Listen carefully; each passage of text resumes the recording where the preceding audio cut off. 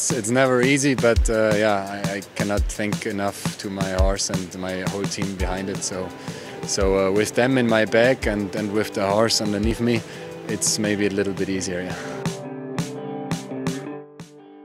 There were only five. Uh, I think he, he built a very good uh, first round.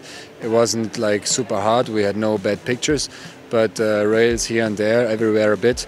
Uh, it was was yeah was a good first round I thought, and then in the jump off there were some very good combinations.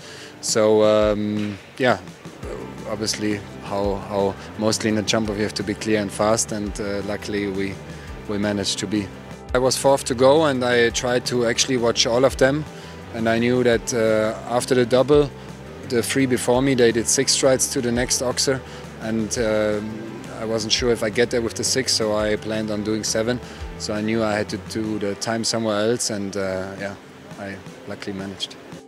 You cannot uh, give a big enough compliment to the organizers here and, and to the whole uh, team that uh, you know prepares the ground. Uh, the surface was incredible. I mean now it's gotten weak enough uh, or soft enough but uh, we had three days and three nights of full rain.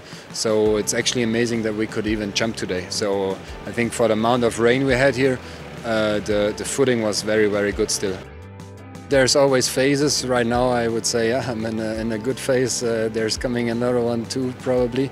Um, yeah we try to keep it up and try to you know try to uh, not not get uh, not lose the the foundation stay on the ground, stay humble, and uh, and work for for keeping it up.